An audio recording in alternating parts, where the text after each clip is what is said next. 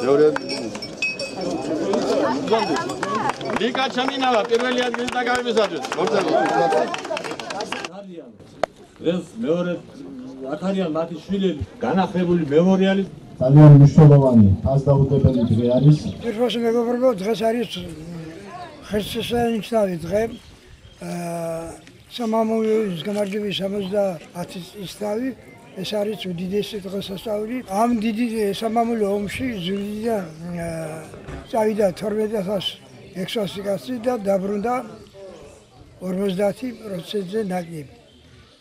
ამჟამად არის სულ 7 კაცი.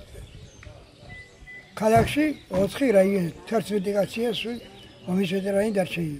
9 მაისი უდიდესი დღესასწაულია 70 წელი შესრულდა ფაშიზმის დამარცხების ფაშიზმის გამარჯვების დღეა და სიმბოლურად 70 ძირი ნეკრჩხალი და ბავშვი ომის ვეტერანებთან ერთად ქეთს ვიხრით მათი ღვაწლის გმირობის წინაშე და უფრთხილდები ძალიან 70 წელი გავიდა მოგეხსენება და ჩვენ ომის ვეტერანი ქალაქში შვიდი პიროვნება გამჩია ყველანაირად ხელს უწყობთ ვეხმარებით გვერდში უდგევარ და უნდა გადავცეთ მომავალთა უბანმაც მომავალთა უბანმაც უნდა იცოდეს მათი გმირობის შესახებ.